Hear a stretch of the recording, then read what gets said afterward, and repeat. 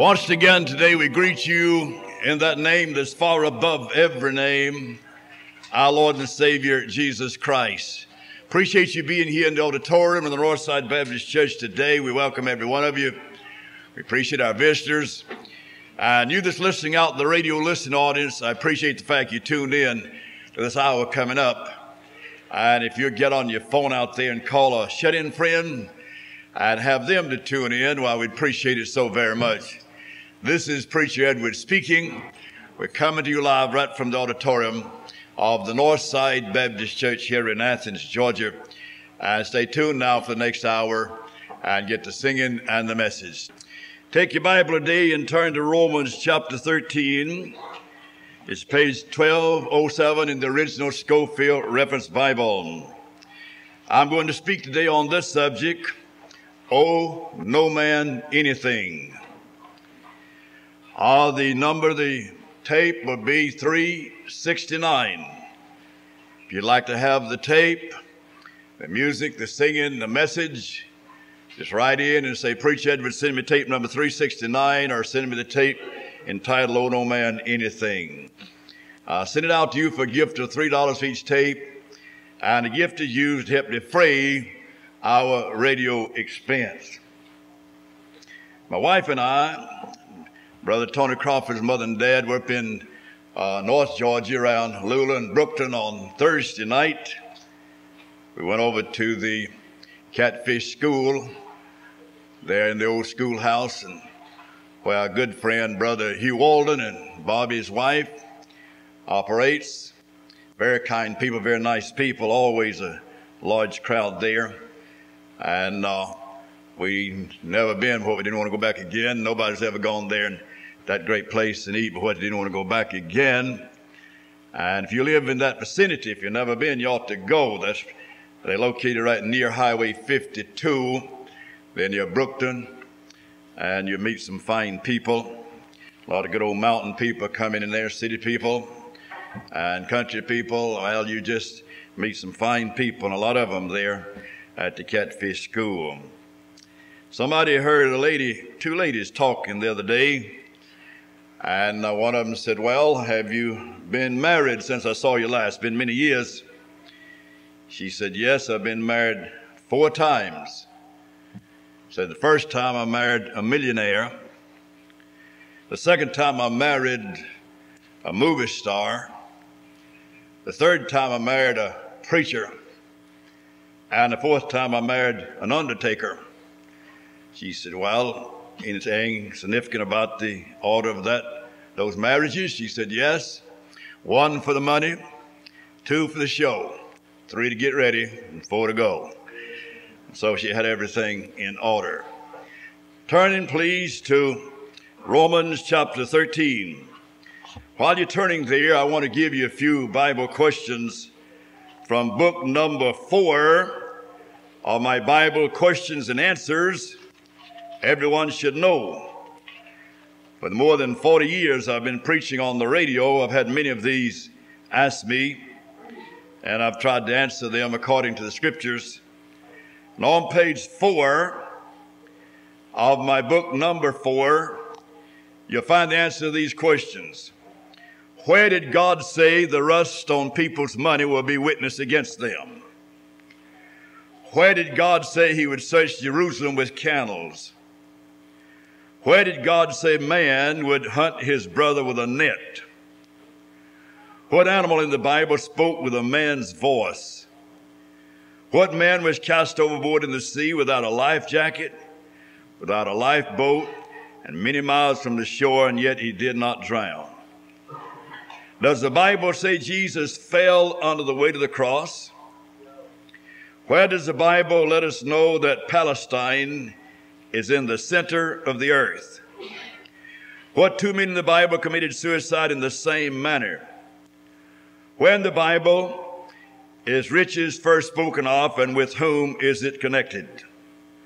When the Bible does imply that uh, the Arab nations will be wealthy in the end time. Of course, you know that's now. They're wealthy through their oil over there, and the Bible lets you know about that. Okay, where is, is first and last place of the synagogue mentioned in the Bible? What did God say was sweeter than honey in the honeycomb?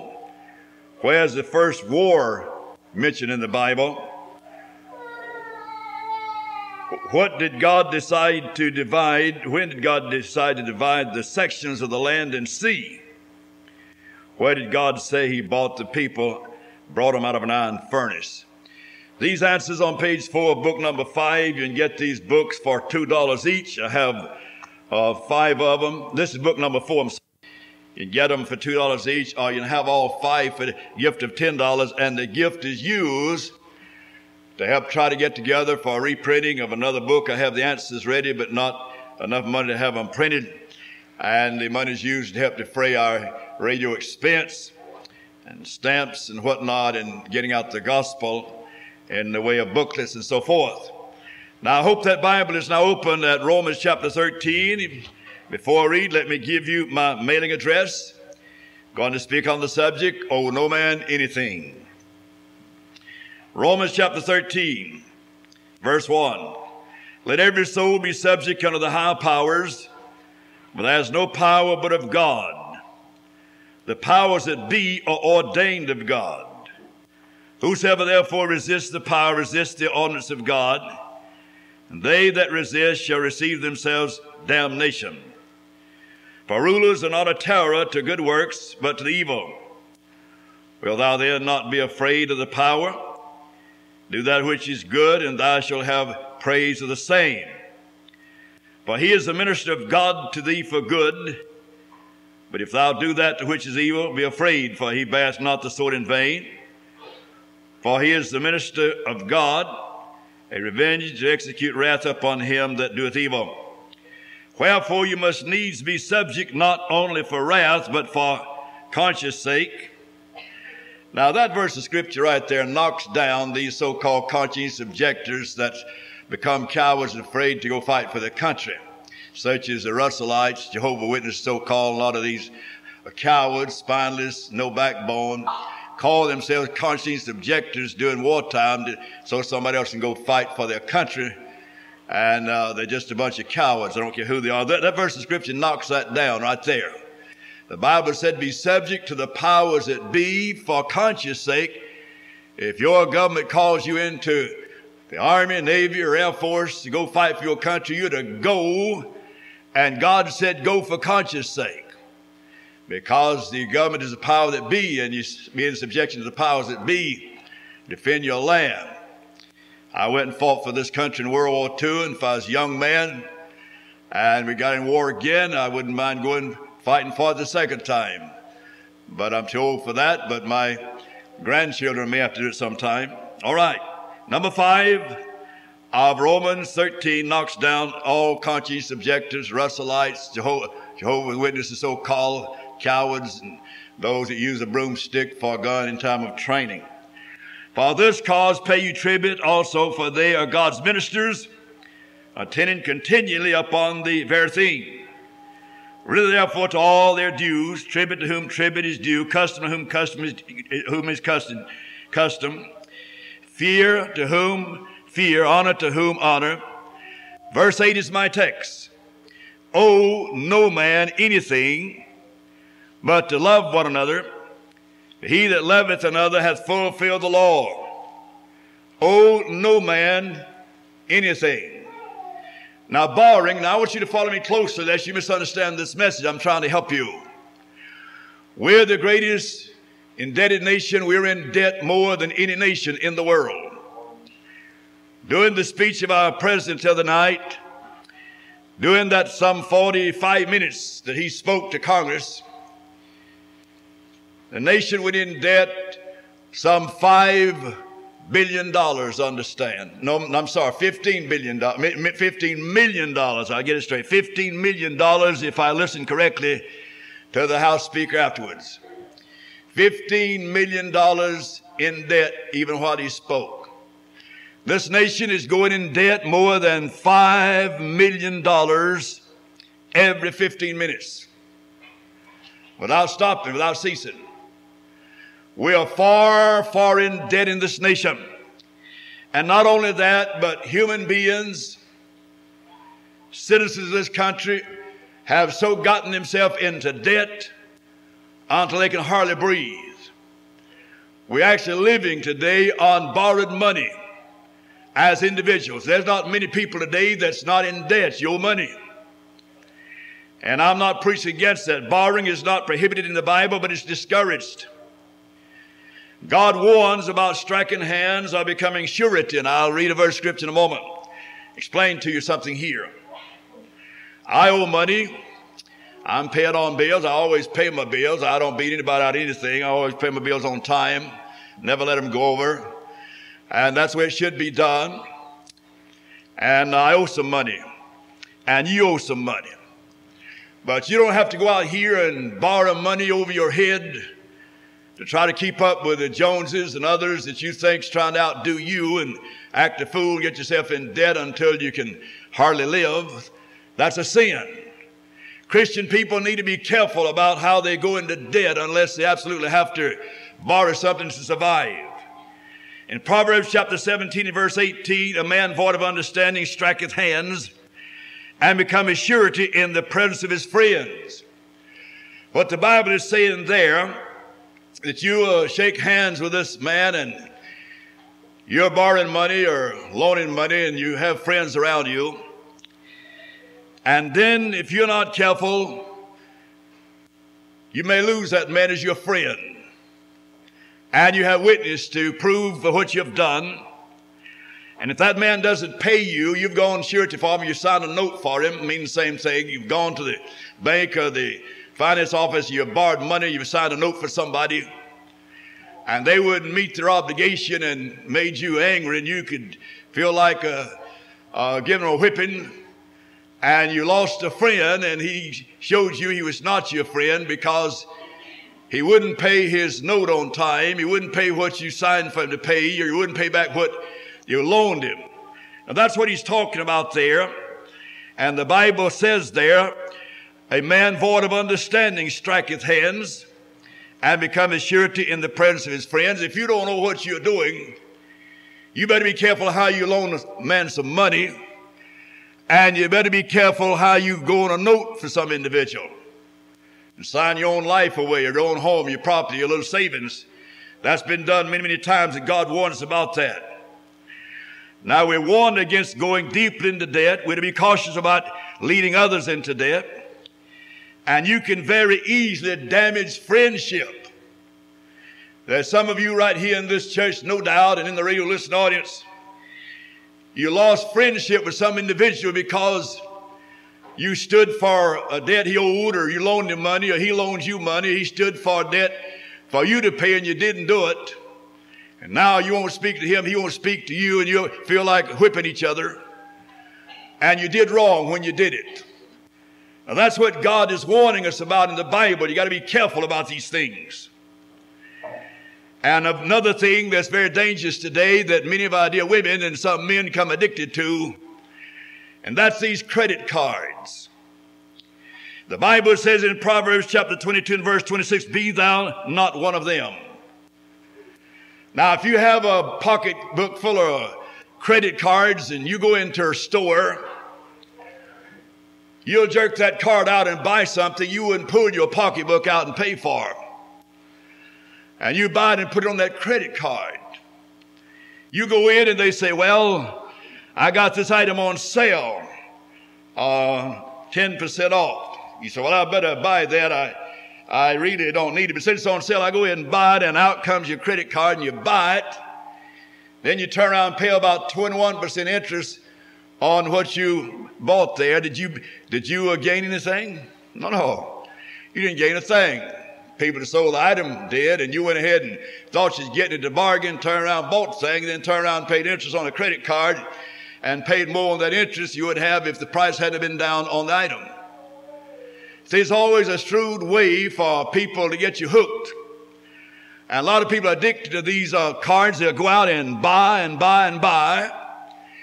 And then they'll check up and find out they've overloaded their credit cards. They bought too much and all the year long, they'll strain and strain and try to pay for the money they bought on that credit card.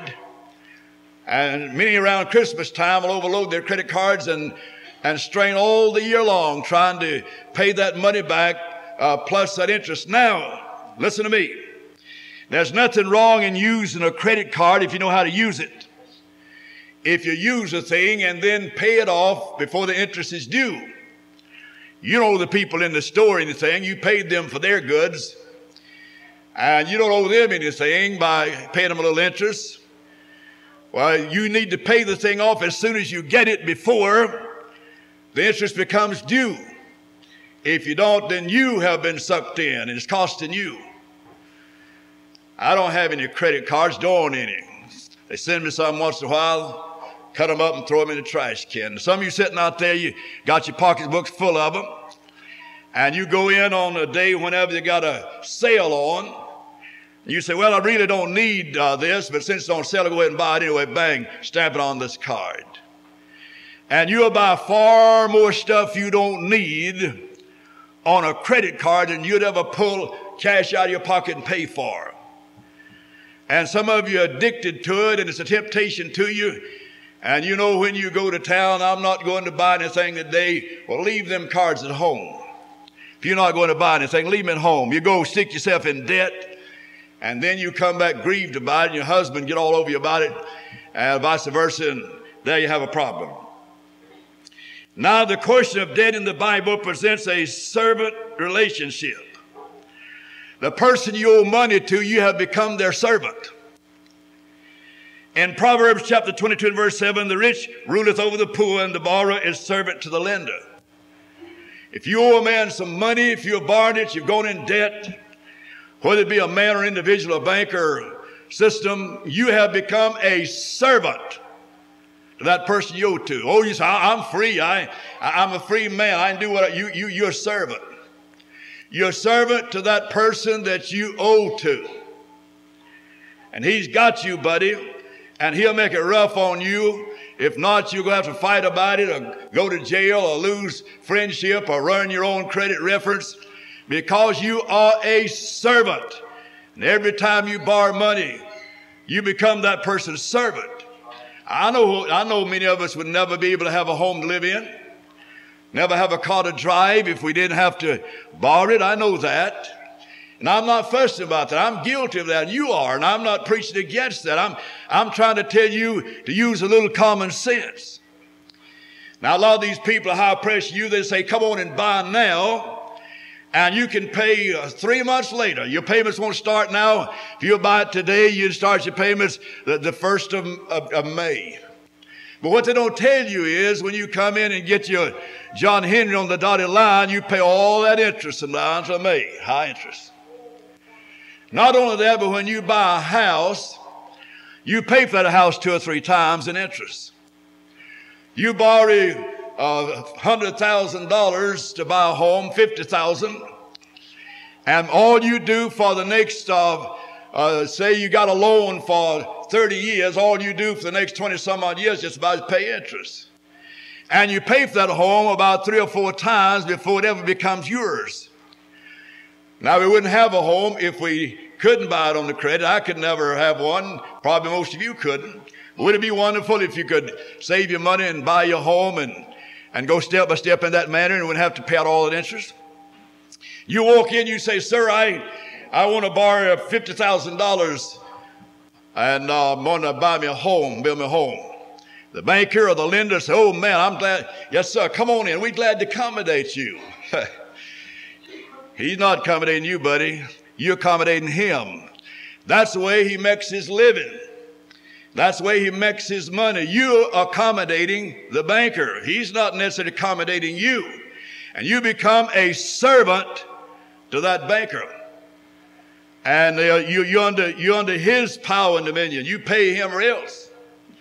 You may get your home halfway paid for, and then you can't pay for it. You say, fork her over, buddy. You've been a servant for me for many years, and I'd gladly use your interest. You haven't paid anything on your house yet, maybe a few dollars on the principal. You'd be surprised how little you pay on your property when you get a long-term loan. This whole nation's going crazy going in debt today. We're all living over our heads, all of us living in debt. And that's why this whole nation owes more than any other nation in the world. Now you need to do some thinking, get down to the ground, and be careful how you go and buy and buy and buy and buy on the credit. You pay an interest.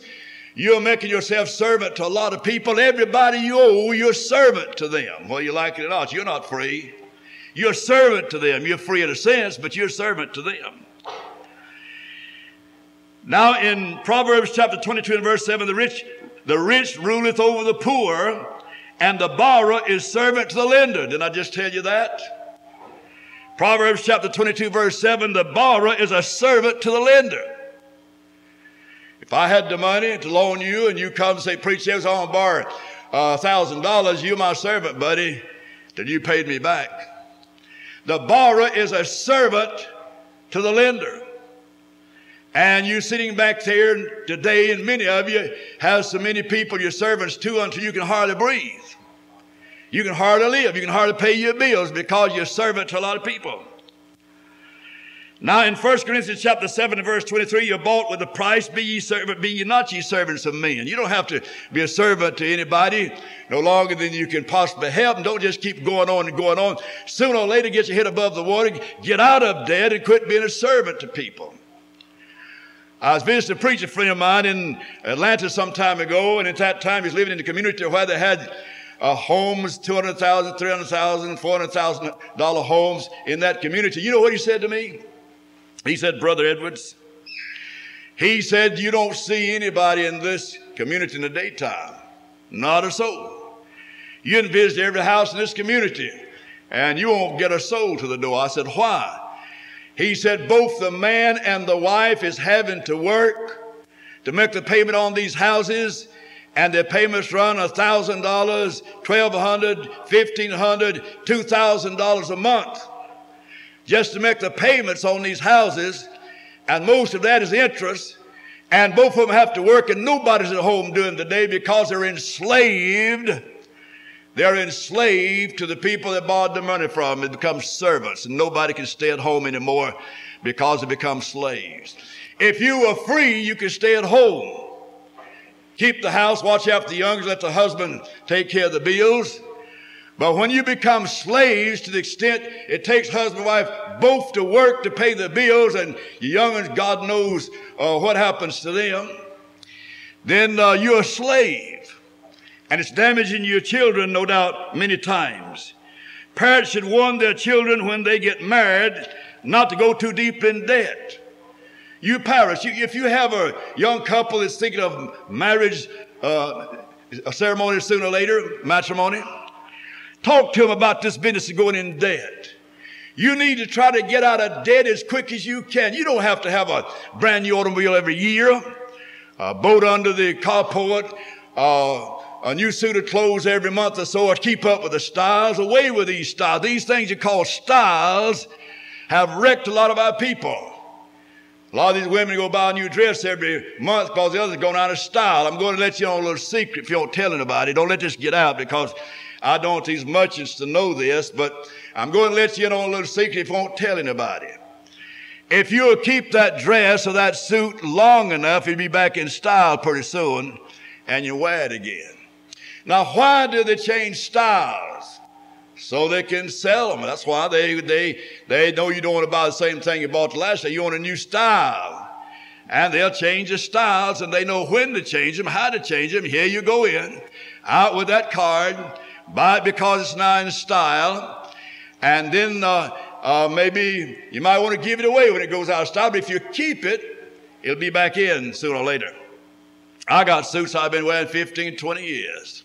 That's right. I come to this pulpit a lot of Sundays with suits of clothes I've been wearing more than 20 years.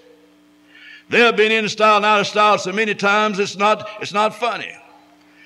And as long as they don't have a lot of holes and patches on them, I'll be wearing them again. And they'll be coming in out of style some more.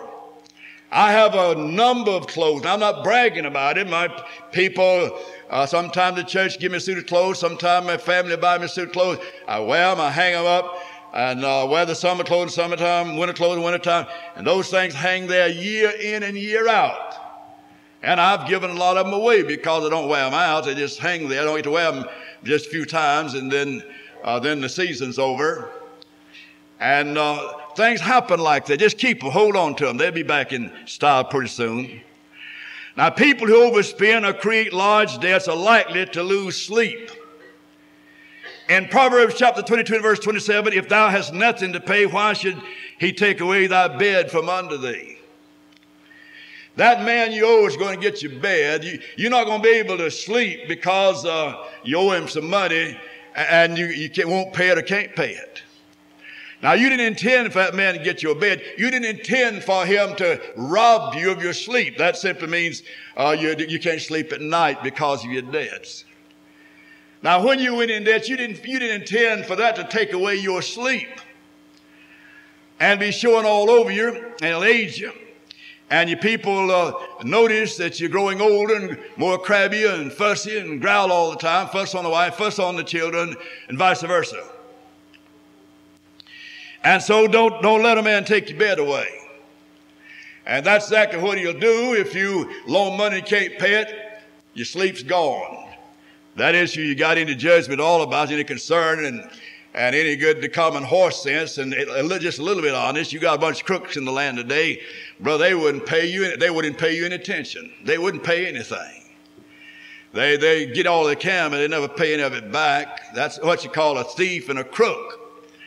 The Bible said uh, in, the, in the, the Word of God says in the Bible that if a man borrows and don't pay again, get the scripture, Psalms 37 verse 21, the wicked borroweth and payeth not again. A man that will borrow and borrow and borrow and refuse to pay his debts and don't care whether he pays them not. You know what God said he was? He's a wicked man. Now, what did God say about the wicked? The wicked shall be turned into hell and all nations forget God. Now there comes a time of illness, a time whenever you can't meet your obligation, and you borrowed your money and, and you did it uh, with uh, goodwill and good desires to, to, do it and to do good, and you had uh, hardship, sickness, heart, a problem, you had problems, troubles, and you got yourself in a jam. Get on your feet as quick as you can and run to that man that you owe sit down and say, listen, mister, I got, I, am just, I have a problem. I've, I just can't meet that obligation today. I've had sickness. I had to buy medicine for my wife and, and uh, I'm just, I'm just in turbulence. Sir, would you uh, bear with me a little longer? If that man is any businessman at all, he'll bear with you because he'd rather do that than you run out and not pay him at all. So he's going to take a chance on bearing with you. But if you keep dodging him and, and then you don't go back and tell him again and work and get him to work with you on the thing, then you're going to be listed as a wicked borrower. You're branded as a wicked man, and that man's going to brand you as a crook, as a thief, as a liar. And he has a perfect right to do so. Then God told Israel if they would obey him, they would not have to borrow anything. Deuteronomy chapter 28, verse 12, the Lord shall come upon thee his good treasure, the heaven, the heavens to give thee rain in thy land in the, his season, and to bless all the works of thy hand, and thou shalt lend unto him only on, on, on, on, a nation and not to borrow. In other words, the Bible said there in Deuteronomy chapter 20 and verse 12, if you live for God every day of your life, you do that which is right, use a little common sense and don't cram yourself into debt before you get started and, and move along as you possibly can and honor God. God said you don't have to borrow anything. You'll be in shape to do some lending if you want to. That's what he said. Read Deuteronomy chapter 28 and verse 12. Now, financial pressure will do some things for you that shouldn't be done to any born again Christian. Number one, a man that's overloaded in debt, that can't meet his obligation, that dodges a man on the street that he owes, that won't answer the door when he comes to collect. And a man like that, if he's a saved man, he's going to be so low spiritually sooner or later until he can't touch God with a 10 foot pole. He's been robbed of his spiritual power and joy. That'll hurt him. That'll fix him up. It can cause problems between a man and his wife. Been many of a man and wife is fussed and quarreled all day because they had no money to spend, no money to pay their bills. The wife says to the husband, you, you're no good. You're a poor manager. You can't manage anything. You shouldn't try to start in business start with, and you know you couldn't manage anything. And uh, they're fuss and they're quarrel. And that causes a friction between the husband and the wife, and they can't pray because no need them praying. God said for men and his wives fussing on one another, don't pray because God don't hear your prayers. And that'll get the children involved in the thing, and that hurts there, and the whole family is, is hurt. And, and it's a terrible thing. You need to be very careful about going in debt. That's what I'm trying to tell you. It'll keep you in bondage to others. You walk around in bondage all day. You owe this, owe that. I'm in bondage. I'm a servant to this. I'm a servant. I'm in bondage. You're not in a free man. You're not at liberty to be a free man and serve God like you ought to in that condition. Now, if you have to borrow to survive, take care of your family, meet your obligations, and use a little wisdom and some common sense, and uh, there's nothing wrong in it. It's better if you didn't. There's nothing wrong in it, though, if you have to. The Bible doesn't condemn it in that sense. In Matthew chapter 6 and verse 24, no man can serve two masters. He'll either hate the one and love the other, or else he will hold to the one and despise the other. You cannot serve God and man.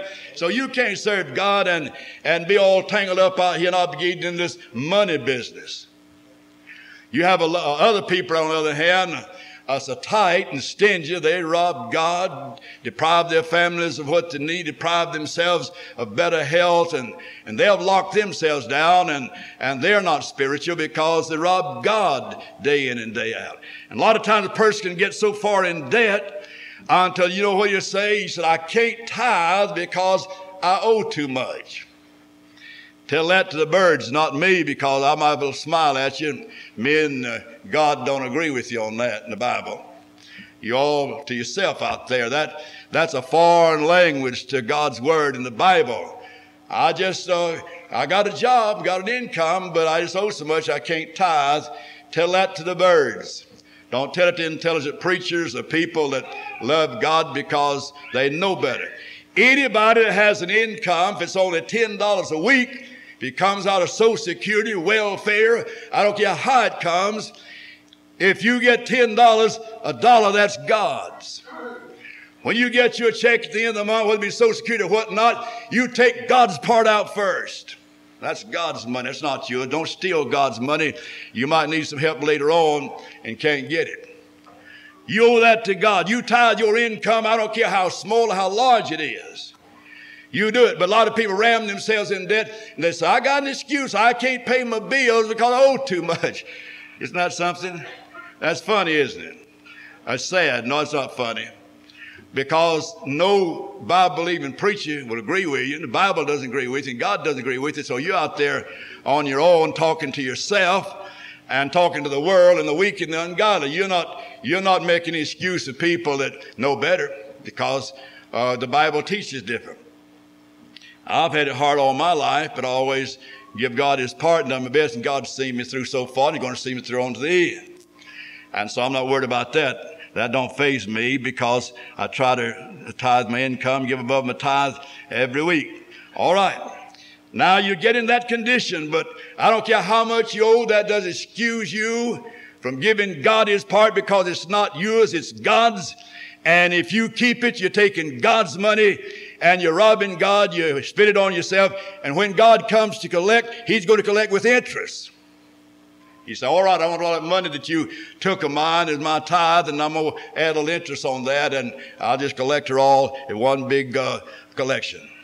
Bad. Let's hear what Brother James has to say. Brother James said something over in the New Testament.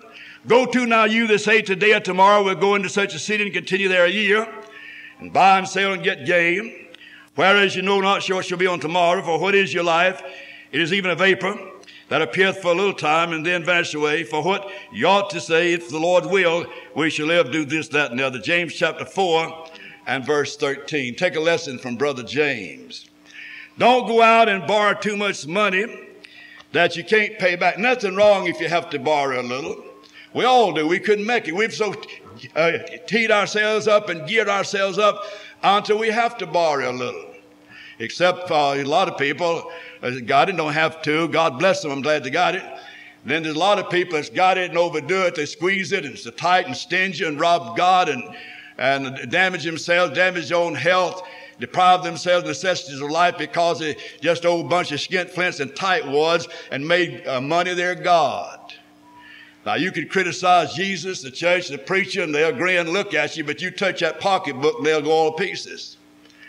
That nerve goes down that pocketbook, they'll go all to pieces. They'll turn red in the face, has the nerves all to pieces. They don't want to talk about their money because that's their God. But you can talk about Jesus, you talk about Michael, you can talk about the church, you can talk about the preacher, you can talk about other Christians, but don't you touch my money. If you mention that, then me and you had it. I'll, I won't be talking to you no more. Now that's when money becomes your God when you get in that condition.